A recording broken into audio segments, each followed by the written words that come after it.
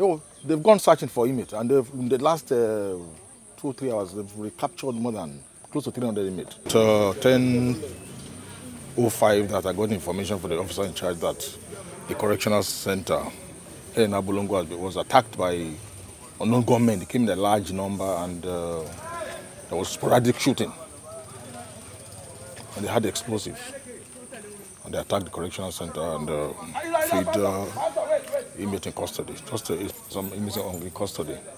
Well, there was casualty. One of the inmates that wanted to jump fence, I think he fell down and lost his life.